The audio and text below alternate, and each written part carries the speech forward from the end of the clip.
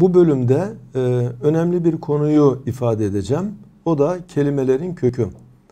Türkçe'de nasıl ki gelmek fiilinden geldi, geliyor, geliyorlar, geliyorum, geliyorsunuz gibi bunları kullanıyoruz. Ve aynı kökten yüzlerce e, türetme oluyor. E, benzeri bir durum Arapçada da var. Hem de çok kurallı bir şekilde var. Eğer biz kelimenin asıl köküne inebilirsek gerçekten de çok rahat bir şekilde manasını çıkarabiliriz. E, bunu üç örnek üzerinden el alacağız. Bunlardan birisi ilim, alime kökünden. Arapçada Kur'an-ı Kerim'de ne gibi kelimeler karşımıza çıkıyor. İkinci olarak e, cenne kökü. Cenne kökünden ne gibi kelimeler karşımıza çıkıyor. Ve üçüncü olarak da selime kökünden yani e, selamet, selam o gibi kelimelerin türetildiği bir kelime. Bundan ne gibi kelimeler karşımıza çıkıyor? Bunları görmeye çalışacağız. Önce e, ilim kökünden bunun geçmiş zamanı alime ile ifade edilir. Alime kökünden ne gibi kelimeler karşımıza çıkıyor? Bunlardan bir tanesi talim. Talim Türkçe'de kullanmaktayız. Milli eğitimin önemli müesseselerinden birisi talim terbiye kuruludur. Günümüzde eğitim öğretim şeklinde bu ifade edilir ama yine de resmiyette talim kelimesi kullanılmaktadır. Kur'an-ı Kerim'de alleme Adem'el esma kulleha Allah böyle buyuruyor. Allah Adem'e bütün isimleri öğretti. Burada alleme alleme mazi geçmiş zaman fiili olarak öğretti anlamına geliyor. Bunun çekimini yaptığımızda alleme yuallimu talim ve talim mana olarak bize yabancı değil. Allah öğretti. Adem'e, Adem'e öğretti. El esma'e isimleri. Esma e, isim kelimesinin çoğulu. İsim aynen Türkçe'de kullandığımız şekliyle e, ama bunun çoğulu esma geliyor. Küllehe tekit yani bütün manasını verir. Allah Adem'e bütün isimleri öğretti. Bu kökten gelen başka bir kelime taallüm. Taallüm ilim öğrenmek anlamında. Mesela bazılarının zararlı şeyleri öğrenmesi Kur'an'da şu şekilde anlatılmış. Ve yetallemune ma yedurruhum ve la yenfauhum. Onlar kendilerine zarar veren, fayda getirmeyen şeyi öğreniyorlar. Burada yeteallemune ilim kökünden geliyor. İlim öğrenmek anlamında. Yadurruhum derken darra yadurru zarar. E, dat harfi Türkçe'ye genelde Z olarak geçmiştir. Mesela e, Kur'an-ı Kerim'de şehru Ramazan der. Biz bunu Ramazan olarak telaffuz etme, etmekteyiz. Benzeri bir şekilde de yadurru darar. Türkçe telaffuzuyla zarar. E, Ve la yenfeuhum Burada yenfa'u nefa'a menfaat menfaat Türkçe'de kullandığımız bir kelime. Alim e, bize hiç de yabancı bir kelime değil. Alim bilen. E, alimul gaybi ve şehade Allah gaybı da şehadeti de görülen alemi de görülmeyen alemi de bilendir. İşte gayb ve şehadet özellikle Osmanlıca'da sıkça kullanılır. Ee, Osmanlıca bilenler bu kelimelere aşinadır. Ama alim kelimesi e, günümüz neslinin de rahatlıkla anlayabileceği bir kelimedir. Alimun, alim kelimesinin çoğulu. Alim, e, tek bir alim anlamında. Ama alimun dediğimizde sonundaki vav ve nun bunu çoğul yapıyor. Benzeri bir şey mesela Müslim, Müslümun gibi. Müslim bir Müslüman, Müslümun Müslümanlar. Ve ma yaqiluha illel alimun. Onları ancak alimler akleder. Burada e, yaqiluha akıl kelimenin kendisinde bu kendisini gösteriyor. E, işte onu ancak alim olanlar akleder. E, alim olanların şerefi ayette ifade edilmiş. Yine alimler anlamında Kur'an'da geçen bir kelime ulema. Ulema alimler, bilginler anlamında. E, İslam uleması bu gibi ibareleri kitaplarımızda görebilmekteyiz. E, ilgili bir Kur'an ayetinde de Allahu Teala şöyle bildiriyor. İnnemâ yahşallâhe min ibâdihi el ulema. Kulları içinde Allah'tan ancak alimler haşyet duyar. Haşyet duymak böyle ürpermek anlamında. Burada e, ulema kelimesi bildiğimiz bir kelime. İbad, abd kelimesinin çoğulu. O da pek yabancı değil. Yahşe, haşyet, haşyet duymak, korkmak, ür, ürpermek anlamında. E, dolayısıyla ayete muhatap olmak e, çok da zor değil. Malum kelimesi ilimden türetilmiş bir kelimedir. Malum bilinen demek. Bunun böyle olduğu malumdur. Türkçede de kullanırız. Kur'an-ı Kerim'de bir, ilgili bir ayette şöyle geçmekte. وَالَّذ۪ينَ ف۪ي اَمَّالِهِمْ hakkum malum. Onların mallarında belli bir hak vardır. Yani zenginlerin mallarında fakirlere ait belli bir e, hak vardır. Onu fakirlere vermeleri gerekir.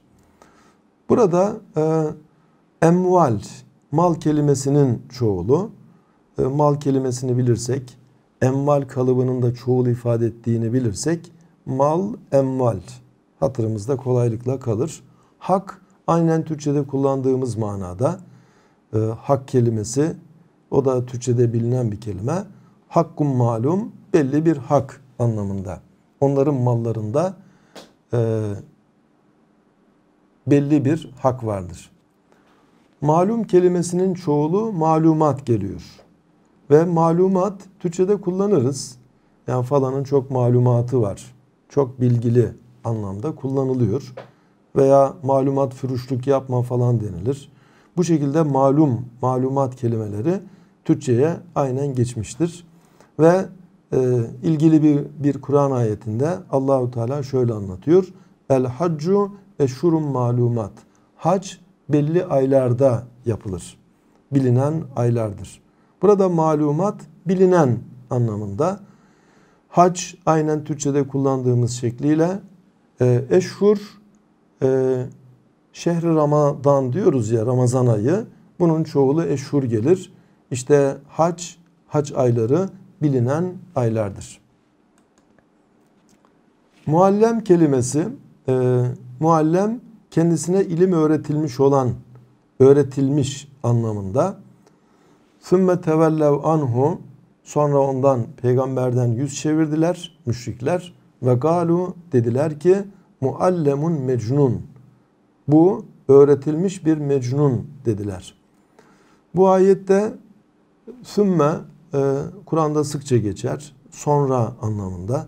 Bunu bir defa öğrendiğimizde yüzlerce defa sümme geçiyorsa oralarda da manasını çıkarmış oluruz. Tevellev e, Türkçe'de pek de karşılığı yok. Yüz çevirmek anlamında. Galu dediler. E, Kur'an-ı Kerim'de en sık kullanılan kelimelerden birisi. Gale ve ondan türeyen kelimeler. Gale dedi, galu onlar dediler. Muallemun mecnun, muallem öğretilmiş. Mecnun aynen Türkçe'de kullanıldığı gibi falanca mecnun deriz deli anlamında. Ee, bu şekilde muallemun mecnun öğretilmiş bir mecnun, öğretilmiş bir deli o anlama geliyor.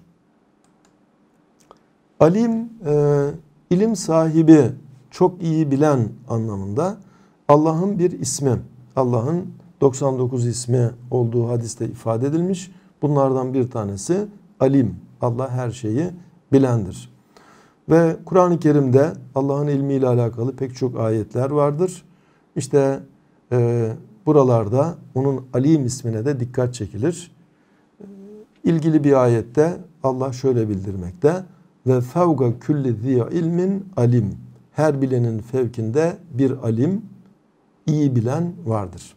Burada e, daha iyi bilen manası da verilebilir. Yani her bilenin fevkinde daha iyi bilen biri vardır. Veya alim Allah'ın ismi olarak e, eğer değerlendirilirse her bilenin fevkinde her şeyi bilen Allah vardır. Bir de allem kelimesi. Allem. Allem belki Türkçe'de o kadar bilinmiyor ama allame şeklinde kitaplarımızda geçer. Allame teftazani denilir mesela. Çok büyük alimlere allame deniliyor. Allem, e, allamul guyub şeklinde Allah'ın bir ismi, ünvanı olarak Kur'an-ı Kerim'de ifade edilir. Ve e, inneke ente allamul guyub e, Hazreti İsa Cenab-ı Hakk'ı vasfederken duasında böyle diyor. Allah'ım sen allamul guyubsun, gaypları bilen yalnızca sensin. Bir de Türkçe'de kullandığımız muallim, muallime aynı kökten gelir. E, Kur'an-ı Kerim'de bu iki kelimeyi görmeyiz ama Arapçada kullanılan kelimelerdir. Türkçe'de de aynen geçmiştir. E, eskiden öğretmen denilmezdi, muallim denilirdi. Bayan öğretmene de muallime denilir. Buradan ikinci e, olarak cenne köküne geçiyoruz. Cenne bakalım buradan ne gibi kelimeler karşımıza çıkıyor. Her şeyden önce cin kelimesi. Cin e, gözle görülmeyen bir varlık türü. Bu kelimenin kökünde gözden ırak olmak, gözle görülmemek manası var. Dolayısıyla bundan türeyen bütün kelimelerde bu mana bilinirse mana vermek, hatırda tutmak kolay olacaktır. Mesela Allahu Teala buyuruyor: "Ve ma halaktul cinne vel insa illa liyabudun." Ben cin ve insi ancak bana ibadet etsinler diye yarattım. Burada ins, insan, cin, insana mukabil olarak gözle görmediğimiz mükellef varlıklar. Cinnet kelimesi aynı kökten gelir. Akıl rahatsızlığıdır cinnet ve bu gözle görülen bir rahatsızlık değildir. Mesela adamın yarası vardır gözle görülür ama cinnet dediğimizde falanca da cinnet var dediğimizde bu gözle görülen bir şey değildir. Aynı zamanda bu tür rahatsızlıklara cinlerin sebep olduğu düşünülür. Bundan dolayı cinnet, cinle aynı kökten geliyor. Bu kelime kullanılmış. Ve e, mesela peygamberle alakalı e, müşrikler şöyle söylüyorlar. İn huve illa racul bihi cinne. O kendisinde cinnet bulunan mecnun bir adamdır. Ve burada e, onda cinnet var. Yani mecnun kendisinde cinnet bulunan kişi anlamında e, bunu ifade ediyorlar. Ve aynı kelime e, cinnet kelimesi Kul euzu bi rabbin nas hepimizin bildiği surelerdendir. Orada e, cin kelimesinin çoğulu olarak da geliyor. E, öte yandan başka bir ayette le emle enne cehenneme minel cinneti ve nas ecmain andolsun e, cehennemi cinlerden ve insanlardan bir kısmıyla dolduracağım. Allahu Teala burada e, cinle e, insana mukabil olarak bunu kullanıyor. Mecnun kelimesi aynı kökten gelir. Deli, cinlenmiş, kendisinde cunun hastalığı bulunan anlamında. Ve e, Kur'an ayetlerinde genelde haşa peygamberlere bunun nispet edildiğini görmekteyiz. Vahyin e, muhatabı olamayan müşrikler peygamberin mecnun olmakla itham etmişler. Ama Allahu Teala cevap veriyor peygamberimizle alakalı. Nimeti rabbike bi kahinin ve la mecnun. Ey peygamber Rabbinin nimeti sayesinde sen ne bir kahinsin ne de bir mecnun. İşte burada kahin aynen Türkçe'de kullandığımız kelime günümüzde belki medyum deniliyor. Nimet aynen kullandığımız bir kelime. Ente zamirdir sen anlamında. Artık bir defa enteyi öğrendiğimizde Kur'an'da yüzlerce defa bu kelimenin geçtiğine şahit olacağız. E, ve ma burada olumsuz yapıyor. Ma ente sen değilsin. Bir nimeti Rabbike Rabbinin nimeti sayesinde. Bir kahinin kahin değilsin. Ve la mecnun mecnun da değilsin. Bir de cennet kelimesi. Cennet e, bu da aynı kökten gelen bir kelime. Peki cennetteki özellik nedir? Cennet diğer alemdeki mükafat yeri. cennete cennet denilmesi sık ağaçlar sebebiyle dıştan bakıldığında iç kısımlarının görülmemesi yönünden. Yani cennet o kadar yeşillik, o kadar her tarafta bolca ağaçlar var ki arasında adeta e, insan kaybolacak. Varlıklar görülmeyecek. Bu noktadan cennete cennet denilmiş.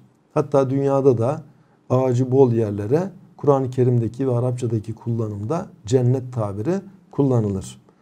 E, burada da bunun kök manasıyla alakalı olduğunu rahatlıkla görebiliriz. Allahu Teala Hazreti Adem ve eşiyle alakalı şöyle diyor. Ve kulna biz dedik ki ya Adem ey Adem üskün ente ve zevcuke el cenne sen ve eşin cennete yerleşin. Burada cennet diğer alemdeki mükafat mahalli. Adem, e, Hazreti Adem üskün belki yabancı gelebilir ama meskenden geliyor. Mesken insanın oturduğu yer. Üskün bununla alakalı emir. Ente daha biraz önce geçmişti sen anlamında. Zevcüke, zevç e, Türkçe'de de kullanılıyor. Bu benim zevcemdir, eşimdir anlamında e, kullanılır.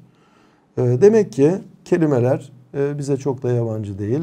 Rahatlıkla bu kelimelere muhatap olabiliriz. Cennet kelimesinin çoğulu cennat olarak geçer. Cennetler. Mesela ilgili bir ayette şöyle ifade edilir. Ve beşşirlezine amenu ve amilus salihat enne lehum cennat. İman eden ve salih amel işleyenler için kendilerine cennetler olduğunu müjdele. Burada beşşir müjdele, beşaret. Ellezine amenu ve amilus salihat. Amenu imandan geliyor. Onlar iman ettiler. Fiil. Ve amilu amel işlediler. Amilu amel çok yakın. Es-salihat salih amel. O da aynen kullandığımız ifadeler. Enne lehum cennat onlar için cennetler var. Biraz dikkat etsek hemen hemen yarı Türkçe gibi e, görebiliriz bu ayetleri ve mana vermek çok da zor değil. Bir de cünne kelimesi cünne kalkan anlamında. Malum kalkan e, arkasındakini gizlemiş oluyor.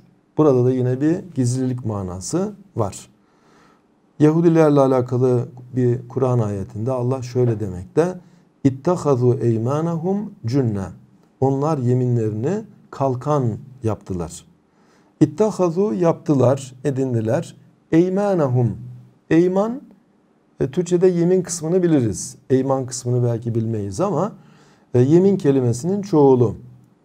E, dolayısıyla çoğul kalıplarını zaman içinde öğrenmiş olacağız.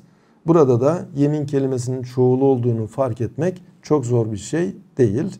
Onlar yeminlerini edindiler. Ne edindiler? Cünne kalkan edindiler. Ve kalkan onları gizlemiş oluyor. Ee, bu şekilde bir mana kendini göstermekte. Ecinne kelimesi cenin kelimesinin çoğulu. Ecinne Cenin de gözden ıraktır. Ana rahminde cenin var ama görülmüyor. Çıplak gözle görülmez. Allahu Teala yaratılışımıza dikkat çekerek şöyle bildirmekte.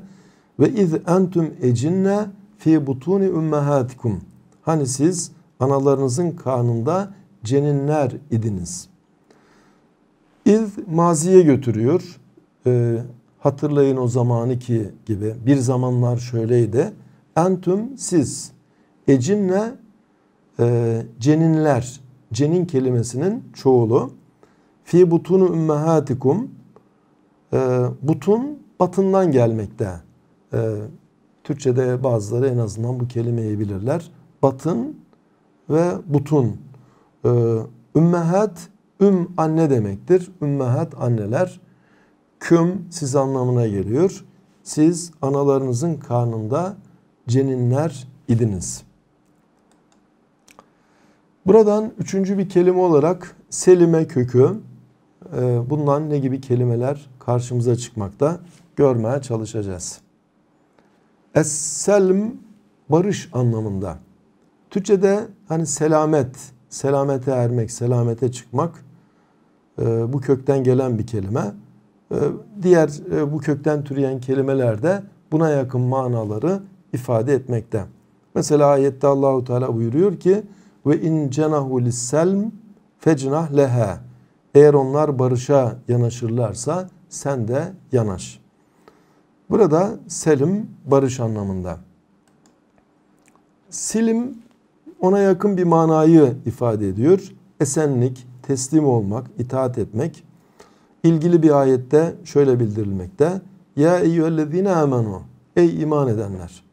E, Kur'an'ı okuduğumuzda bu tabir sıkça karşımıza çıkar. Ey iman edenler. Bazen ya eyyühen nas. Ey insanlar. Böyle geçer. Amenu iman edenler demek. Udhulu girin. Dahil olmak aynı kökten Türkçe'de kullandığımız bir kelimedir.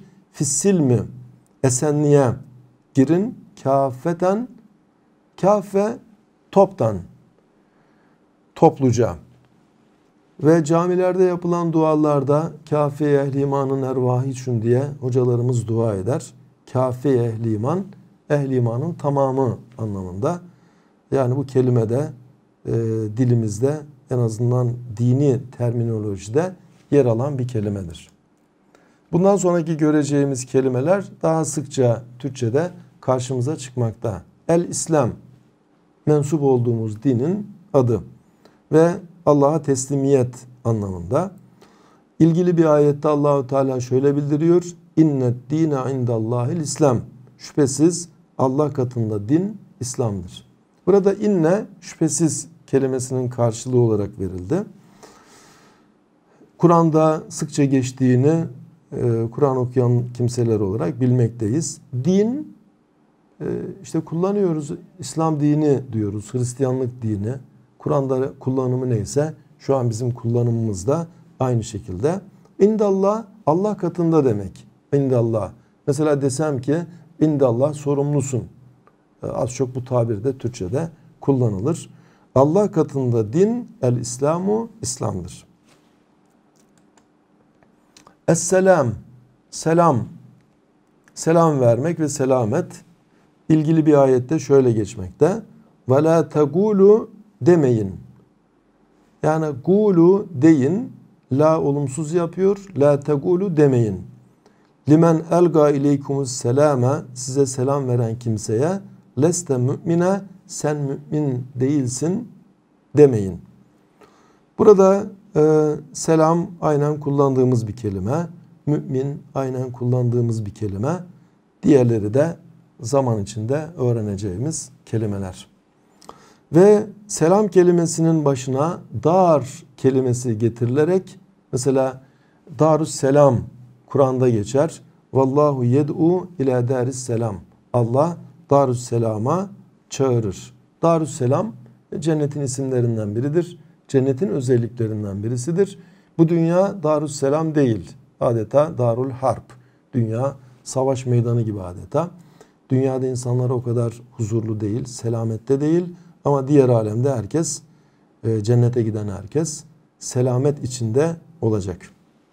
Salimun kelimesi salim, selamette olan e, anlamında Bunun çoğulu yani salim, işte salimen vardık deriz mesela. Bir yere seyahate gittik, telefon ederken elhamdülillah salimen buraya ulaştık. Salimun bunun çoğulu olarak Kur'an-ı Kerim'de geçmekte.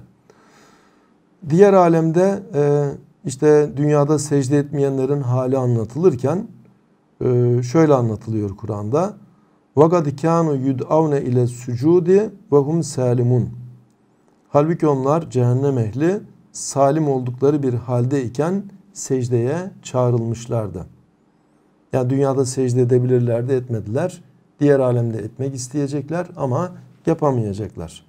Burada salimun selamette oldukları halde e, sucud secdeden geliyor. Yud'avne davetten, çağrılmaktan geliyor. Bu da çok zor bir e, ayet değil.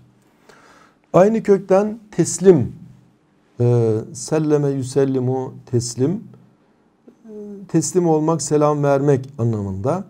Mesela peygamberimize e, mukabil görevlerimizden birisi ona teslimiyette bulunmak.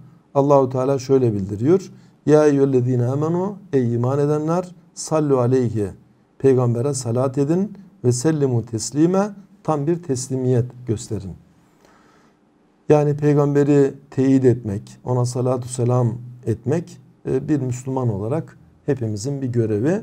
Burada sellimu teslime ikisi de e, selime kökünden gelmekte. Bir de selim isim olarak Türkçe'de kullanılır. Bazılarımızın ismi Selim'dir.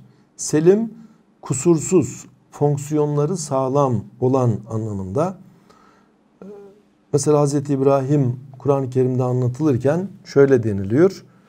İz ca'e rabbehu bi kalbin selim. O yani İbrahim Rabbine selim bir kalp getirmişti. Ca'e bi. Ca'e geldi. Ba harfi celiyle kullanıldığında getirdi. Yani Allah'ın huzuruna herkes bir hediye ile geliyor tabiri caizse. Hazreti İbrahim pırıl pırıl tertemiz bir kalple ona varıyor. Ayet bunu anlatmakta. Ee, burada kalbi selim ve bu edebiyatımıza girmiştir. Mesela edebiyatımızda denilir ki sanma ey hace ki senden zeru sim isterler yevme la yenfauda kalbi selim isterler. Bu şekilde divan edebiyatıyla meşgul olanlar kalbi selim Kur'an'daki bu kavramı rahatlıkla kullanmışlardır. Müslim kelimesi adeta Türkçe gibidir. Ee, Müslim, Müslüman anlamında, Allah'a teslim olmuş kişi anlamında. Mesela bir Arapla muhatap olduğumuzda ene Müslim deriz. Ben Müslümanım. Bu şekilde kullanılır. Hazreti Yusuf Allah'a dua ederken iman ile dünyadan gitmesini, Allah'a teslim olmuş bir kimse olarak gitmesini şöyle istiyor. Tevaffeni Müslimen. Allah'ım beni bir Müslim olarak yani sana teslim olmuş biri olarak vefat ettir. Burada Müslim kelimesi e, karşımıza çıkmakta. Müslim kelimesinin çoğulu Müslümun. Müslim bir Müslüman ama Müslümun Müslümanlar.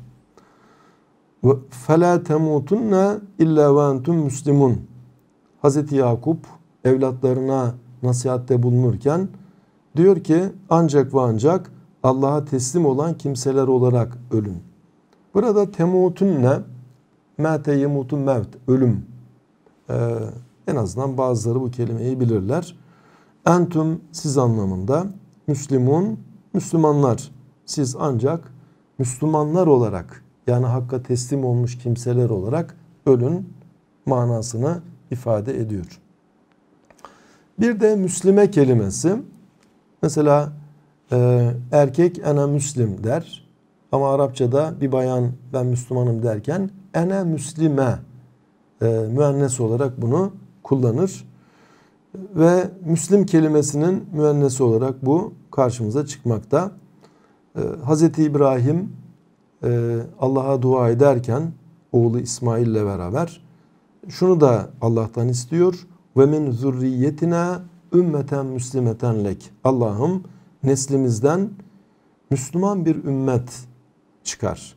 Burada ümmet kelimesi e, müennes olduğundan dolayı ona bağlı olarak Müslim kelimesi de müennes geldi. Bu ilerideki derslerde daha iyi anlaşılacak. Bir de Müslümat kelimesi var. Bayan Müslümanlar anlamında. Kur'an-ı Kerim'de innel müslimine vel müslimat gibi hayli ayetler geçer. Müslimin veya Müslümun, Müslüman erkekler demektir. Müslümat da kadın Müslümanlar anlamındadır. Bu programda e, Kur'an'daki kelimelerin köküne inmek ve e, indiğimiz zaman mananın ne kadar kolay olduğu ana hatlarıyla ifade edilmeye çalışıldı. Nasip olursa daha diğer programlarımızda ilgili ayetleri ele aldıkça her kelimenin Türkçe'de ne gibi bir karşılığı var? Yani Türkçe'de e, nasıl aynı kelimeyi kullanmaktayız? Görünümleri neler? Bunları göstermeye çalışacağız. E, ve bu şekilde inşallah e, Kur'an kelimelerine daha rahat muhatap olacağız.